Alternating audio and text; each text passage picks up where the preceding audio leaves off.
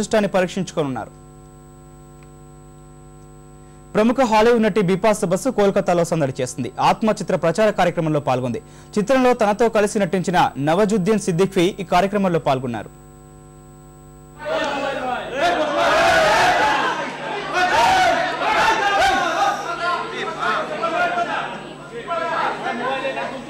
Yeah.